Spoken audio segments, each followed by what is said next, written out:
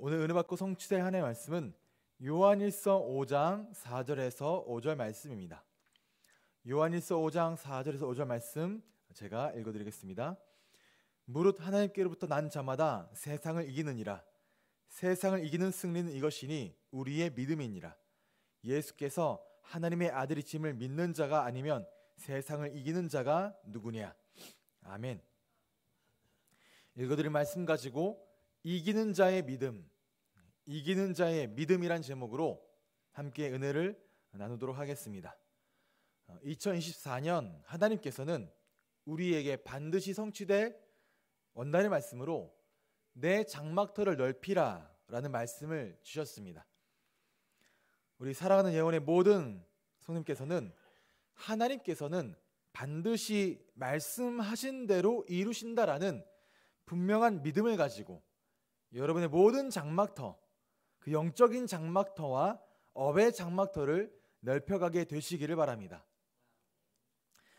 여기서 넓힌다고 할 때 이 넓힌다란 말이 단순하게 어떠한 외형적인 변화나 외적인 증가를 의미한다고는 볼 수는 없습니다. 그리고 현장에서 이 말씀 원달의 말씀의 성취를 따라서 인도 받고 계신 그런 증인들을 볼 때에도 그런 보여주는 부분이 넓혀진다라기보다는 그 기저에 있는 그 근본에 있는 근원에 있는 믿음의 장막터를 넓혀가고 계시는 모습들을 저는 보게 되어집니다. 즉 우리의 기준이 아니라 하나님의 기준대로 그리고 성경의 기준대로 바뀌어져 가는 것. 그리고 내 생각대로가 아니라 하나님의 스케일만큼 내 생각만큼이 아니라 하나님의 스케일만큼 넓혀져 가는 것이 바로 장막터가 넓혀져 간다라고 볼 수 있을 것입니다. 그리고 그렇게 믿음의 장막터가 넓혀져야만 그 믿음만이 오늘 말씀대로 세상을 이기게 되어집니다. 그렇다면 오늘 말씀을 따라 세상을 이기는 자의 믿음으로 우리의 모든 장막터가 넓혀지고 그 믿음의 장막터에 열방을 얻는 237 막내가 견고하게 세워지게 되시기를 주님의 이름으로 축복합니다. 아, 그럼 첫 번째로 예수가 하나님의 아들이심을 믿는 믿음입니다. 예수가 하나님의 아들이심을 믿는 믿음. 5절 말씀에 예수께서 하나님의 아들이심을 믿는 자가 아니면 세상을 이기는 자가 누구냐라고 말씀을 하십니다. 세상을 이기는 자의 믿음은 바로 예수가 하나님의 아들이심을 믿는 믿음입니다. 우리에게는 절대로 다른 믿음은 없습니다. 예수가 하나님의 아들이시며 오직 예수만이 모든 만물과 모든 열방 영혼을 구원하시는 그리스도 되심을 믿는 믿음만이 우리의 믿음이고 그 믿음이 참된 믿음이며 또 진짜 믿음입니다. 예수께서 하나님의 아들이심을 믿는다는 것은 예수님이 하나님 되심을 믿는 것입니다. 어, 요한 복음 1장 1절에 태초에 말씀이 계시니라 이 말씀이 하나님과 함께 계셨으니 이 말씀이 곧 하나님이시라 라고 말씀하시면서 14절에 그 말씀이 육신이 되어 우리 가운데 거하셨고 그리고 요한복음 1장 18절에 그 말씀이 육신이 되신 그가 바로 독생하신 하나님. 여기서 독생하다는 말은 뭐냐? 유일하신 하나님. 그 하나님의 본체 유일하신 하나님이라고 말씀을 하신다라는 거죠. 즉 우리의 믿음은 예수님이 참 하나님이시요. 전능하신 창조주 되시며 그 예수님께 하늘과 땅의 모든 권세가 있어서 모든 만물을 다스리시는 주권자 되신다는 것이 바로 우리의 믿음입니다. 그리고 그 예수님이 참 하나님이시기 때문에 우리를 위해서 이루신 그 모든 구원의 사역, 십자가 대속과 부활의 승리와 그 십자가와 부활의 사역을 통하여 하나님과 화목하게 하신 그 사역, 사단의 권세를 이기신 그 사역, 우리를 모든 죄와 저주에서 해방하신 그 사역이 바로 우리에게 확증되어지고 우리에게 참이 되어집니다. 즉 진리가 되어집니다. 그리고 그 하나님이신 예수님이 지금 우리 안에 성령으로 함께 하셔서 그 모든 구원의 사역을 우리에게 이루셨습니다. 어떤 믿음이냐? 성삼위 하나님께서 우리와 함께 하신다는 그 믿음을 가지고 있다면 어찌 세상을 이기는 삶을 살 수 있지 않겠습니까? 예수께서 하나님의 아들이심을 믿는 믿음으로 우리는 세상을 이깁니다. 그리고 예수님이 하나님의 아들이심을 믿는다는 것은 바로 예수님이 지금 나의 그리스도 되심을 믿는다는 것입니다. 예수님께서 2000년 전에 그리스도로 이루신 그 모든 사역이 지금 나에게 이루어졌고 그 십자가 보혈이 지금 내 마음속에 흐르고 있고 지금 내 삶의 모든 영역에 부활의 능력이 나와 함께 하심을 믿는다는 거죠. 예수님은 어제도 오늘도 영원토록 우리의 주인이시고 우리의 그리스도이십니다. 요한일서 5장 13절에 내가 하나님의 아들을 믿는 너희에게 이것을 쓰는 것은 너희로 하여금 영생이 있음을 알게 하려 함이라라고. 그 영생이 무엇이냐? 하나님의 아들을 믿음으로 하나님을 만나 영원한 생명을 공급받고 영원한 하나님 나라에서 하나님과 함께 교제하며 사는 신분으로 확증되었다라는 거죠. 또 18절에 뭐라 말씀하십니까? 하시냐? 하나님께로부터 난 자는 다 범죄하지 아니한 줄을 우리가 아노라. 하나님께로부터 나신 자가 그를 지키심에 악한 자가 그를 만지지도 못하느니라라고. 하나님의 자녀가 된 우리를 그 죄가 삼키지를 못합니다. 이 말이 뭐냐? 그 죄가 우리로 하여금 하나님을 떠나지 못하게 하고 하나님을 거스르고 불신하지 못하도록 우리를 지키신다는 거죠.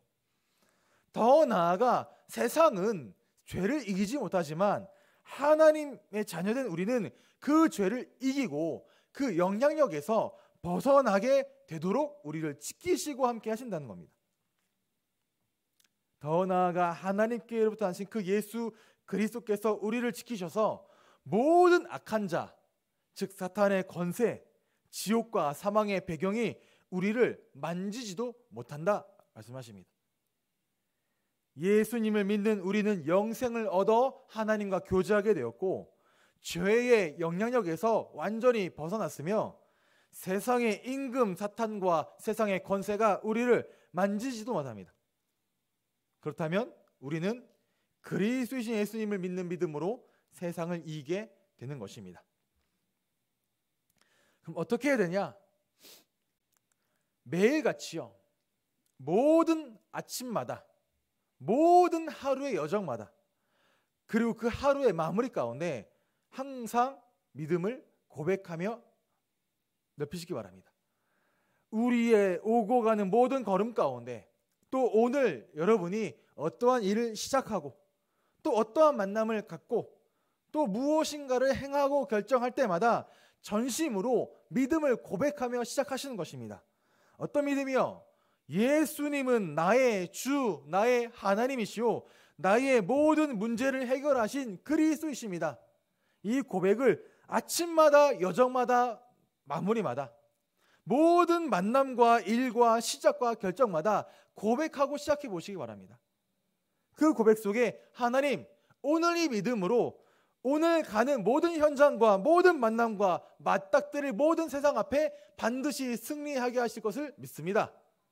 나의 모든 현장의 장막터를 넓히시는 친히 넓히시는 그 하나님을 찬양합니다. 이 믿음으로 고백할 때 그때 주시는 그 오력과 증거를 가지고 세상을 살리게 되시기를 주님의 이름으로 축복합니다. 두 번째로 구한 것은 얻은 줄로 아는 믿음입니다. 구한 것은 얻은 줄로 아는 믿음. 요한일서 5장 14절 15절에 그를 향하여 우리가 가진 바 담대함이 이것이니 그의 뜻대로 무엇을 구하면 들으심이라 우리가 무엇이든지 구하는 바를 들으시는 줄을 안즉 우리가 그에게 구한 그것을 얻은 줄을 또한 아느니라라고 말씀하십니다. 이 예수를 그리스도로 믿어 하나님의 자녀가 된 우리에게 주신 최고의 특권이 무엇이냐? 그것은 바로 우리의 아버지가 되시는 하나님께서 우리의 기도에 반드시 응답하신다는 것입니다. 그리고 그 이것이 바로 우리가 세상을 이길 수 있는 가장 강력하고 담대한 무기가 되어집니다. 하나님 자녀의 기도는 반드시 응답되어집니다. 마가복음 11장 24절에 그러므로 내가 너에게 말하노니 무엇이든지 기도하고 구하는 것은 받은 줄로 믿으라. 그리하면 너희에게 그대로 되리라 말씀하십니다. 우리가 구한 모든 것은 주시겠다라고 약속하셨습니다. 우리의 기도에 응답하시고 우리의 기도에 주시는 그 하나님은 가장 정확한 시간표에 가장 좋은 것으로 주시는 우리를 사랑하시는 참 좋으신 아버지 하나님 되십니다. 우리가 A라는 걸 구할 때요. 하나님은 그 A를 주시기도 하십니다. 그런데 때로는 그 A를 개선한 비슷한 걸 다른 걸 주시기도 하십니다. 때로는 그 A와 전혀 다른 B라는 걸 주시기도 하시더라고요. 근데 때로는 아무것도 주지 않는데 그저 문을 열기도 하시고 때로 그 연 문으로 나를 인도해 가는 사람을 만나기도 하시고 그런 기회를 제공하기도 하시고 내 마음에 동기를 주기도 하십니다. 다양한 방법, 다양한 것으로 우리에게 주시는데 그것이 무엇이냐? 그때 나에게 가장 좋은 것이더라고요. A를 주셔도 좋고 A 다시를 주셔도 좋고 B여도 좋고 과정이어도 좋고 문이어도 좋습니다. 우리에게 항상 가장 좋은 것을 주심을 믿고 뭐 할 수 있느냐? 모든 일에 감사함으로 기도할 수 있는 거죠. 그렇다면 구한 것은 받은 줄로 믿고 모든 것을 기도로 연결하시기 바랍니다. 즉 우리의 기도의 장막터를 여러분 삶의 모든 영역으로 또는 내 영역이 닿지 않은 그 모든 곳으로 넓히시는 겁니다. 때때로 우리가 필요로 하는 것들을 구하는 기도 당연히 해야 됩니다. 당연히 우리가 필요한 것 구해야 되겠죠. 하지만 단순히 뭔가를 얻고자 할 때만 기도하는 것이 아니라 우리의 모든 하루를 여러분의 모든 일상을 하나님과 어, 풍성히 나누시고요. 또 내 마음, 내 생각, 내 감정, 내 상태를 소통하며 내 마음에 하나님의 마음이 내 생각에 하나님의 생각이 내 상태가 아니라 원래의 상태가 회복되어지도록 또 소통하시고 구하셔야 됩니다. 하나님은 우리의 모든 것을 아시죠. 모든 것을 아시는데요. 듣기를 원하십니다. 기도로. 내가 하나님 얼마나 사랑하는지, 또 그 하나님의 것으로 내가 충만히 채워지기 얼마나 원하는지, 내 마음속에 하나님의 소원으로 채워지기를 얼마나 간구하는지 아시는데 듣기를 원하십니다. 그걸 구하기를 원하십니다. 하나님께 구하고 찾기를 가장 원하시고 또 현장 가운데 두드려서 그것을 얻기를 원하십니다. 그렇게 하나님께 구하면 하나님께서는 하나님의 선하심과 풍성하심으로 우리의 모든 마음을 채우시고 우리의 현장과 우리의 필요를 충만하게 채우실 것입니다. 우리에게 채우시는데 우리의 방법으로나 우리의 기준으로나 우리의 시간표대로 채우시는 것이 아니라 하나님의 방법과 하나님의 시간표를 따라 하나님께서 보시기에 가장 좋은 것을 우리에게 주실 것입니다. 그렇다면 그 하나님을 온전히 신뢰하시고 분명한 담대함을 가지고 구하시고요. 또 구한 것은 얻은 줄로 믿으시기 바랍니다. 여기서 강조된 단어가 무엇이냐? 담대함입니다. 담대함. 우리가 가진 바 담대함이 이것이다. 그 담대함은 뭐냐? 하나님의 자녀이기에 당당한 것. 하나님을 믿기에 올바른 믿음. 또 그 믿음과 당당함을 가지고 의심하지 않고 불안해하지 않고 거침없이 담대하게 나아가는 그 그리스도인의 모습이 바로 담대함입니다. 히브리서 4장 12절에 그러므로 우리는 극렬하심을 받고 때를 따라 돕는 은혜를 얻기 위하여 은혜의 보좌 앞에 담대히 나아갈 것이라 말씀하십니다. 여러분에게 주신 그 자녀의 특권을 담대함으로 누리시기 바랍니다. 기도 응답 확신 가지고 하나님께 담대하게 오늘도 나아가시기 바랍니다. 그러면 하나님께서는 우리에게 때를 따라 돕는 은혜를 베푸셔서 우리가 처한 모든 현장에서 승리하게 하실 것입니다. 결론입니다. 요한복, 요한복음 16장 33절에 보면 예수님께서 동일하게 이렇게 말씀하십니다. 이것을 너희에게 이르는 것은 너희로 내 안에서 평안을 누리게 하려 함이라. 세상에서는 너희가 환란을 당하나 담대하라. 내가 세상을 이기었노라라고. 우리가 세상 앞에 때로는 커 보이고 막연해 보이는 그 세상 앞에서 담대할 수 있는 이유는 우리의 주인 되신 예수 그리스도께서 이미 세상을 이기셨기 때문입니다. 우리는 성경의 말씀대로 하나님께로부터 난 자들입니다. 그 성경의 말씀대로 예수를 그리스도로 우리의 주인으로 믿는 그리스도께 속한 자들입니다. 우리가 예수께 속한 이상 세상은 우리를 절대로 이기지 못합니다. 예수님은 마귀의 일을 멸하시고 세상을 이기시려 이 땅에 오셨고 십자가에 죽으시고 부활하심으로 그 모든 일을 이루시고 우리 안에 지금 성령으로 함께 하십니다. 그러면 믿으시기 바랍니다. 어, 무엇을요? 예수님의 말씀 담대하라 내가 세상을 이기었노라. 예수를 믿는 믿음, 예수님을 하나님의 아들로 믿는 믿음, 그 예수님을 나의 주, 나의 그리스도로 지금 믿는 그 믿음이 세상을 이깁니다. 그러니 오늘도 내 능력, 내 수준, 내 상황, 내 지식 말고 오직 예수를 그리스도로 믿는 그 믿음에 집중하며 도전하며 나아가게 되시길 바랍니다.